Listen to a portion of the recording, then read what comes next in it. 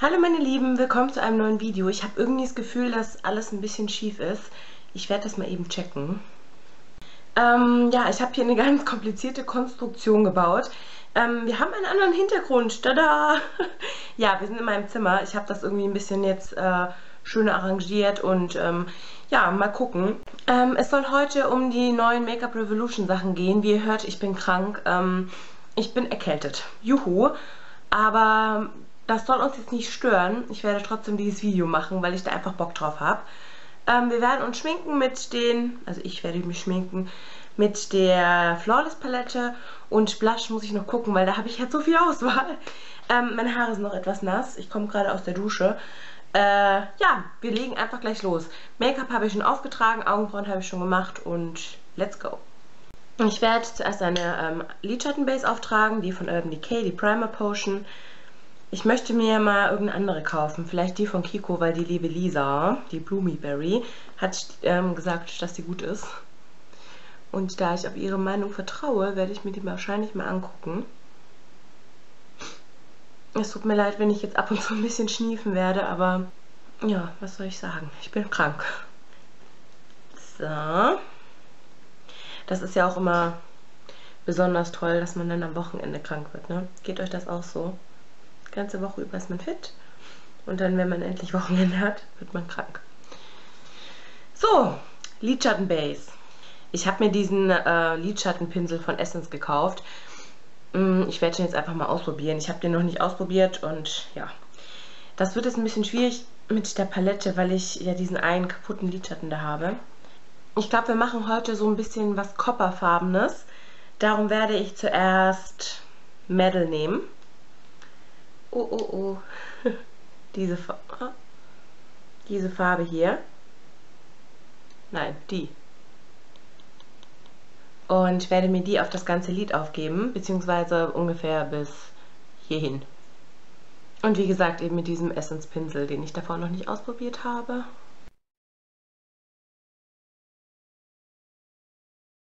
Was ich an dem ganz schön finde, ist, dass der so schön klein ist. Ähm, da kommt man eben gerade hier vorne gut hin und schmiert sich das nicht überall hin, wo es nicht hinkommen soll. Das fällt mir jetzt so spontan positiv auf.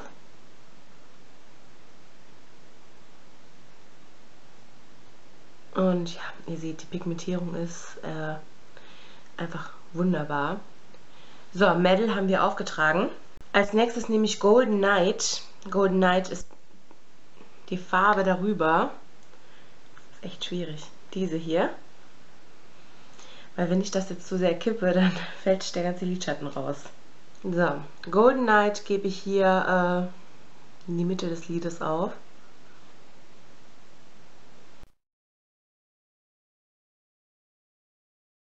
Auch richtig schön pigmentiert.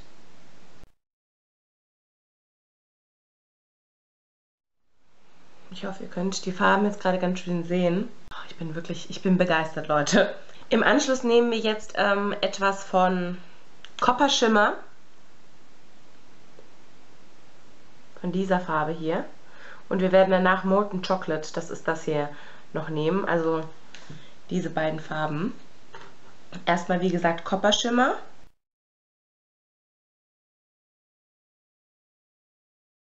Diese Flawless Palette gibt es übrigens auch in matt. Ich glaube, das sind die gleichen Farben, nur dass eben alle Farben matt sind. Ist, ähm, für Leute, die auf matte Töne stehen, vielleicht ganz interessant. Ich bin ja irgendwie eher so der schimmernde Typ. Ähm, wir machen übrigens gerade alles mit einem Pinsel. Mal gucken, wie das weitergehen wird. Ich nehme jetzt äh, Molten Chocolate. Das ist einfach diese dunklere Farbe, die ich euch eben schon gezeigt hatte. Ah, die sehen zusammen einfach traumhaft aus. Gefällt mir richtig gut bis jetzt.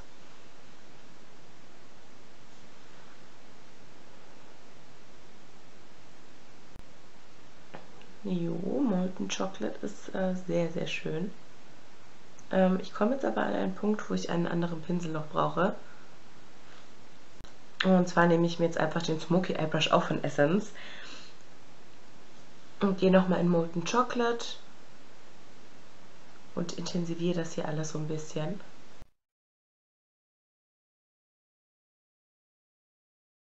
Nehme das auch ein bisschen mit nach vorne. Ähm, ich nehme halt die Farbe, verteile die mir hier so in der Lidfalte und wenn ich dann noch ein bisschen was drauf habe, gehe ich damit nach vorne. Einfach, dass sich das da nochmal wiederfindet. Also.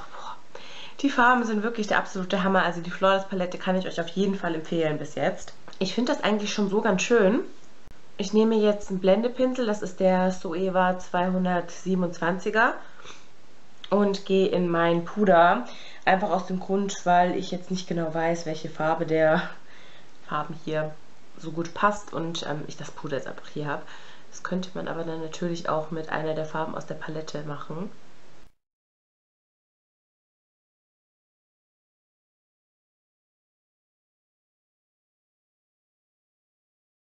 Wenn wir das so verblendet haben, schließe ich erstmal meine Palette, weil ich Angst habe, dass dieser Ton sonst noch mehr kaputt geht. Oh, vorsichtig. Und lege die hinter mich. Und öffne jetzt erstmal nochmal die Blush-Palette. Das ist die ähm, Golden Sugar. Die so aussieht. Oh, ich mache mal den Pinsel ein bisschen weg. Die ist einfach unglaublich schön. Ich hoffe, ihr könnt die Farben jetzt gerade gut sehen.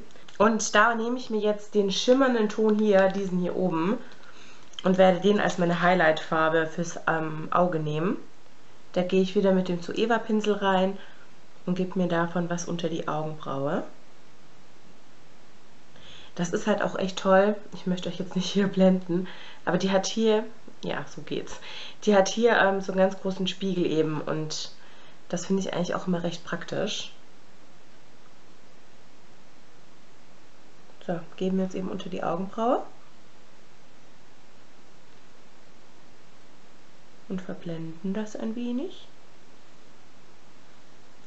Ähm, ich werde jetzt meine Wimpern tuschen. Und zwar verwende ich da zurzeit ziemlich gerne eine Kombination aus zwei Mascaras. Und zwar nehme ich immer zuerst von ähm, CoverGirl die Clump Crusher. Das ist eben eine wasserfeste. Und im Anschluss daran nehme ich von äh, Maybelline die Rocket Volume Mascara. Also eben eine Kombi aus diesen beiden. Und ähm, ja, das gefällt mir zurzeit ganz gut. Ich weiß nicht, ich bin da wirklich so ein Typ, der ganz oft Mascaras wechselt und dann auch wieder ähm, Kombinationen total toll findet, dann wieder was anderes findet und so weiter und so weiter. Ähm, die werde ich auf jeden Fall jetzt mal eben auftragen und ähm, dann kümmern wir uns um den Rest des Gesichts. Den Rest, ja, den Rest. Bis gleich. So, meine Wimpern habe ich auch getuscht. Ich werde euch jetzt etwas zurückfahren. Und wir kümmern uns jetzt um die Wangen. Ähm, ich glaube, dass vielleicht die Farben ein bisschen besser rauskommen, wenn wir etwas weiter weg sind. Ähm, ich glaube, ich werde, äh, ich werde Loft Me The Best verwenden. Das ist einer dieser Vivid Baked Blushes. Upsa. Dieser hier. Und da verwende ich ja immer gerne von The Balm diesen Pinsel. Und da werde ich jetzt einmal so reingehen. Und wir werden uns das jetzt einfach mal angucken, wie sich das auf den Wangen so macht. Ich finde es eine sehr schöne Farbe. Ich hoffe, das kommt jetzt in der Kamera auch raus. Das gibt so eine schöne Frische.